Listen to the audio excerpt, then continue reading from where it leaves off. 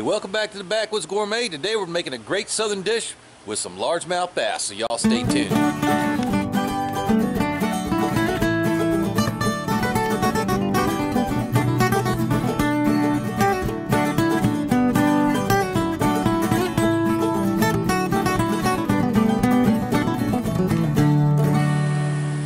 Alright, so we got the uh, the charcoals getting ready because, you know, here at the Backwoods Gourmet, you know we're going to have to make them on cast iron. So while we're getting that ready, hey, watch this uh, beautiful bass footage. But right now we got four fish. We got one uh, very, very close to six pounds, and we have three keepers. Uh, was hoping to catch one more keeper, and uh, maybe that's him right there. Yep, that's him right there. Oh, that's pretty good pretty good fish right there. Good keeper. So it's a nice 14, 15 inch bass. And um, so that's uh that's a limit for us. So we'll see you guys back at the house and we'll cook them up. Yeah, it looked like fun, didn't it? Yeah, it was pretty fun. Um, now, let's take them over to the cleaning table and uh, fillet them up for you guys.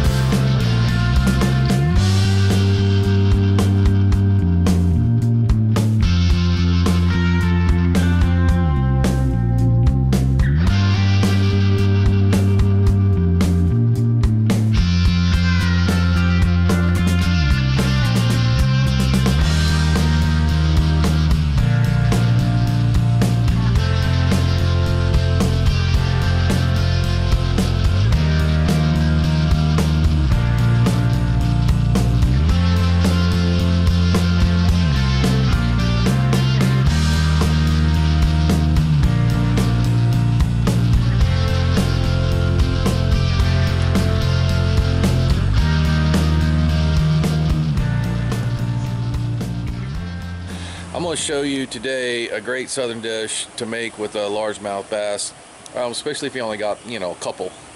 Um, doesn't take a lot. Right, uh, our bass is already filleted, chilled down. So uh, you're going to need one fillet for each serving of this. This is uh, about a three quarter of a pound fillet.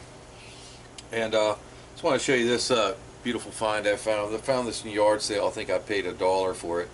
Uh, beautiful old uh, fillet knife and this was actually um, stainless steel and made in Japan. Uh, it was already sharp when I got it but I, sharpened it a little more and it is really awesome uh, awesome knife. Some so sometimes you find some of these old ones you know before everything was made in damn China uh, can be a lot better. What we're going to do with this fish is we're going to cube it up in um, you know bite-sized bite-sized chunks so this big half of the steak here, I'm going to go ahead and like split that, right down the middle, and then uh, we'll just chunk it up.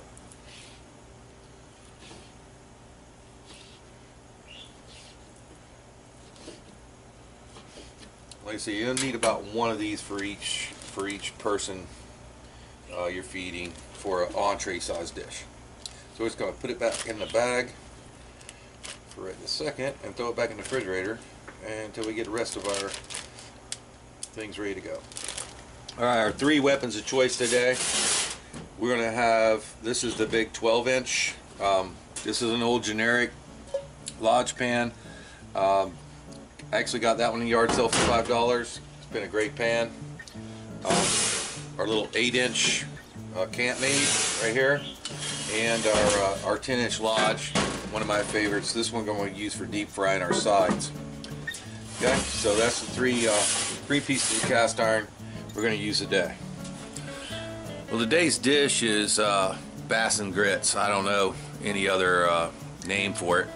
We're going to. Uh, it's very very reminiscent of the old Gullah dish shrimp and grits.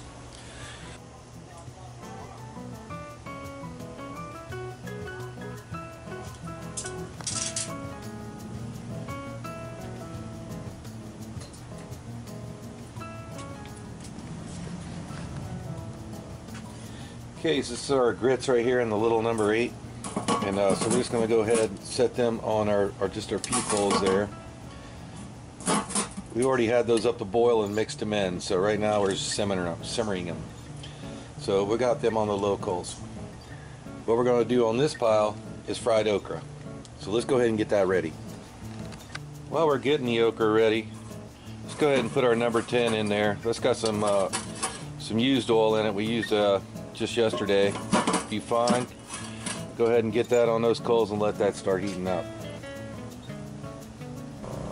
And making uh, fried okra is real easy. We just took our fresh okra from the garden. We're going to season it pretty liberally. It needs a bit of salt. We're using uh, Seminole Swamp seasoning again.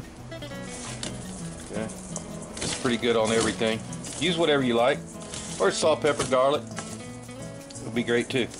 So good, good dose of that. And uh, little tip to this, um, cut this about uh, 10-15 minutes before you put the seasoning on. Lets all the uh, the juices start coming out of the okra, and will help your uh, your cornmeal stick to it. So at this point, we just sprinkle the cornmeal over it, and we're going to toss it and just let it sit there for a minute. And um, the juices from the okra will actually um, start to batter, kind of make a batter from the cornmeal on those. And then we'll maybe toss them again before, right before you put them in the fryer.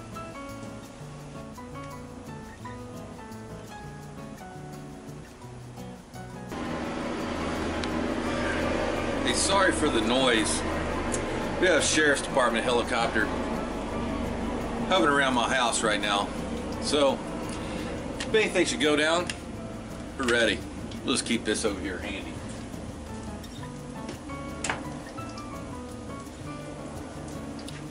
Uh, here I like me some uh, Old Bay on mine. Uh, again, use whatever kind of uh, seafood seasoning you like. This seems to work pretty good for me, that little shaker thing.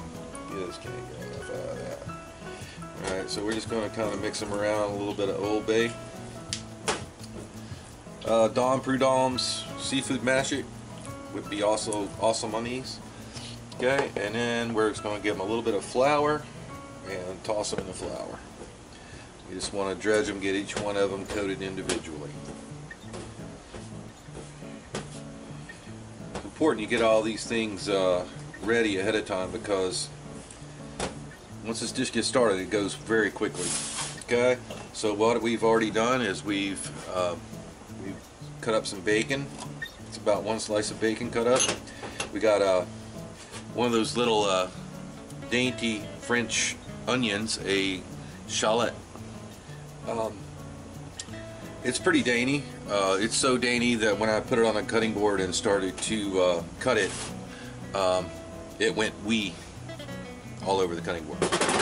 All right, and then we have a little bit of oop, slippery little rascal, about a tablespoon of garlic. We're also going to need some green onions, but we'll pick them fresh a little bit later in the dish. We started these grits a little, uh, little earlier, so those are almost done. They're nice and stiff. That's the way we want them for right now. So what we're going to do is just, they're going to keep cooking in that in that nice uh, piece of cast iron. I'm just going to go ahead and pull them off over here and set them to the side.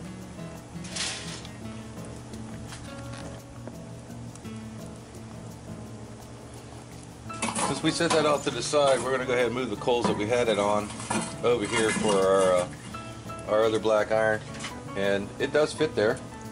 And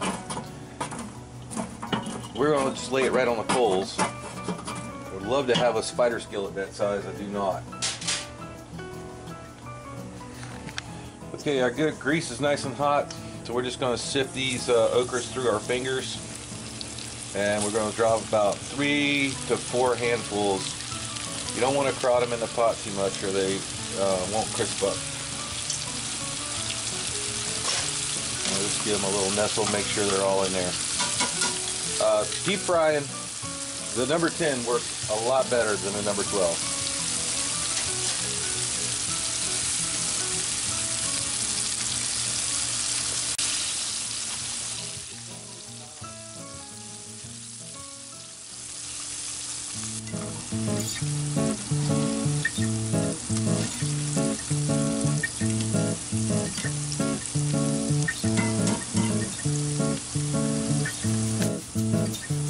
The yolker's going, our other pan is hot. We're gonna go ahead and uh, put in our bacon.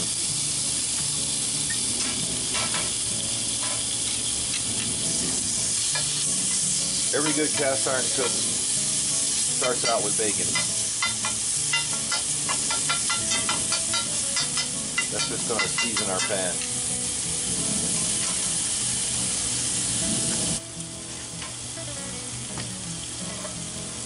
Alright, first batch of okra looks golden brown. So go ahead and take that out and just drain it on some paper towels. This is a very simple and very delicious dish. I have a hard time uh, getting this all the way to the actual table before um, people uh, are always sneaking uh, their fingers in and before you know it's all gone.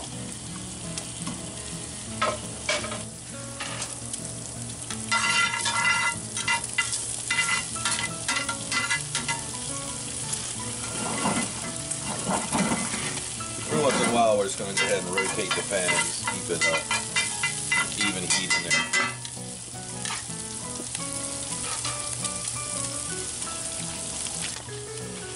Yeah, bacon's starting to render. I'm going to go ahead and help it out a little bit. Give it about a tablespoon of butter.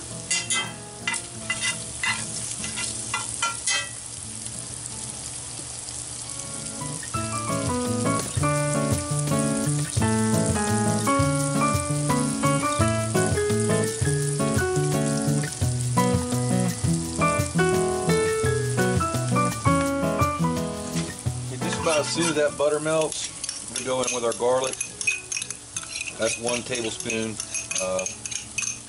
diced garlic, minced garlic, whatever, chopped it. I don't care how you put it in there, just put it in there.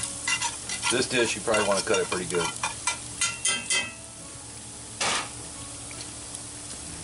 Earlier, I told you guys we needed uh, some green onions. Didn't have any ready, but I always like like to really just come out and pick them for you guys because they're they're right here. So we need about two, about two green onions, right there. So we'll wash these guys up and uh, give them a chop. Okay, uh, been a few minutes on the garlic. Go ahead and put in our shallots. The one uh, shallot, they're pretty small. So you just want to, you know, table's kind of angle here, so kind of just kind of keep it moving around. Get all the rest of the wheat little onion. Okay, things are going to go pretty fast now. We're wanting to get uh, some more butter in there, about another tablespoon. And then we're going to take our bass chunks, toss them in that flour one more time. Make sure they're all nice and coated and separate. And then we're just going to start uh, putting them in the pan here, and just separate them. And what we're going to do is just brown these in this oil, that's in the butter and the bacon. We'll just uh, turn those every once in a while until they're nice and golden brown.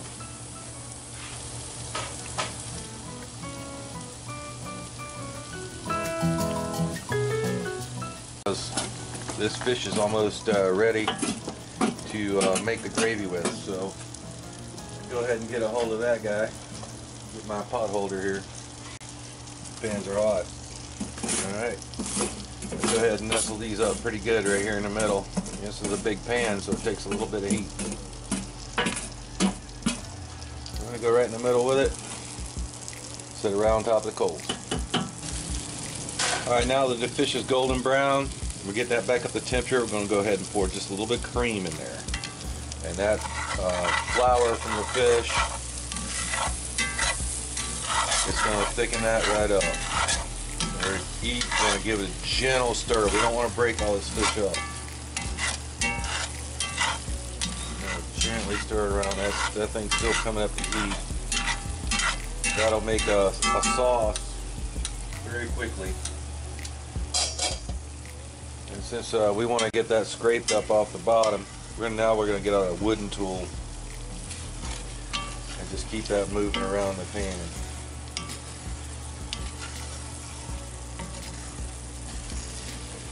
That's going to bring all that yummy goodness up.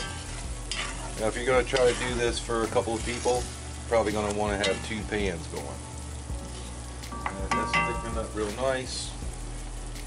Give it just a little another shot of cream. Just try to maintain our consistency.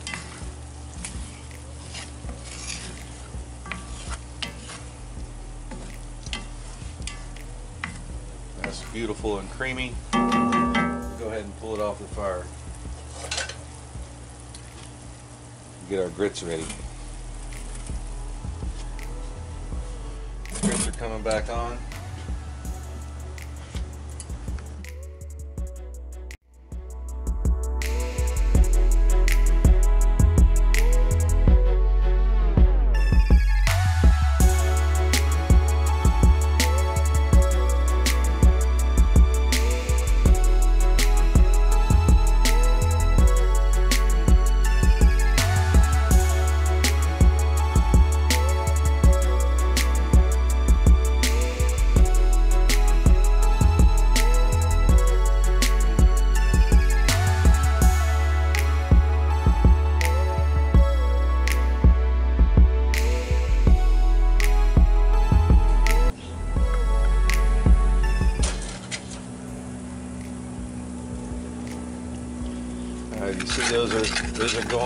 Nice and thick. That's what we want them to be at this point. Here we're going to put just like two tablespoons of cream in there. What we call this creamy grits. We're going to put uh, a good pinch of our fresh scallions right in there. Gonna help to flavor them.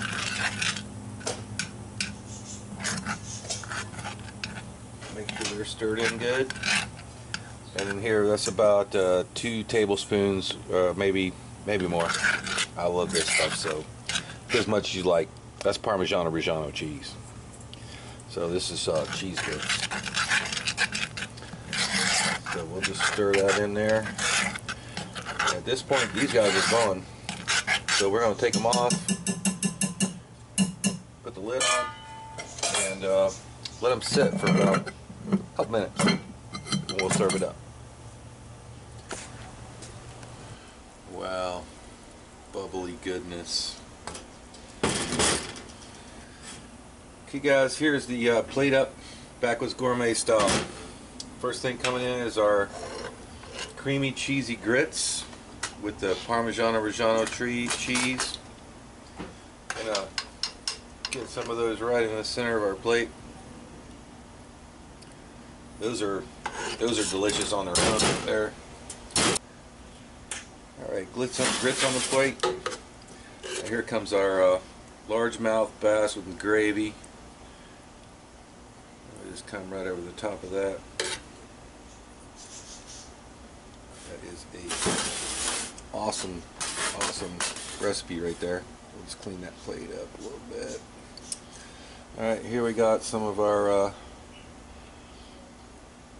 fresh garden grown fried okra right there. For garnish we got a couple of our fresh uh, Roma tomatoes. Next part of our garnish, a little bit of our fresh green onions from the garden. They're over the top, just adds a little bit of color and a nice uh, crunch. Little little perky pick me up there, something fresh. That's some uh, fresh cilantro. And then uh, last but not least, right over the top, fresh Parmigiano Reggiano cheese.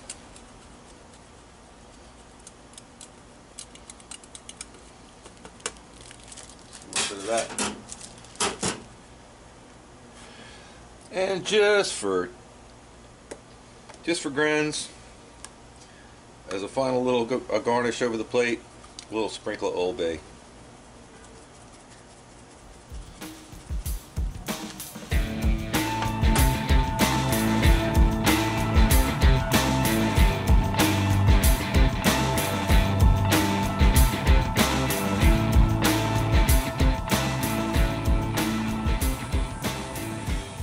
Guys, I really hope you enjoyed this not so ordinary uh, seafood dish made with largemouth bass.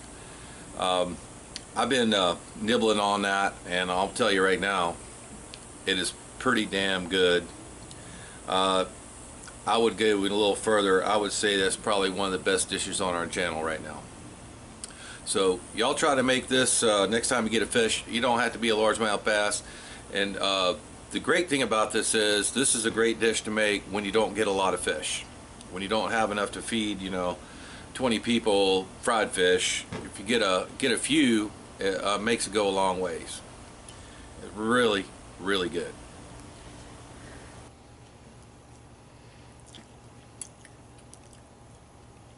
Mm, wow, really good. Hey, thanks for watching the Backwoods Gourmet. As always, please subscribe, share, comment. Hey, and if you like what we're doing, hit that like button. And we'll see you next time.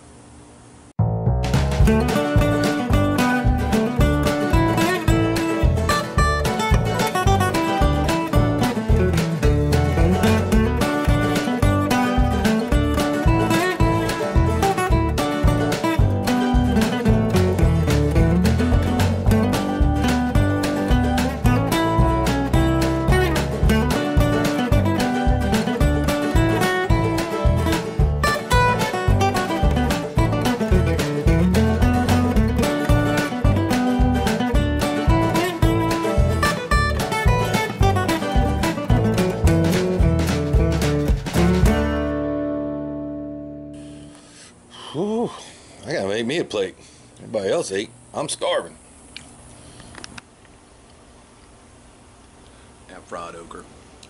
I can't keep my hands off of it. Mmm. Mmm. Mmm. Like popcorn. Hey, thanks for watching the Backwoods Gourmet. As always, please subscribe, comment, share, like us, and we'll see you next time.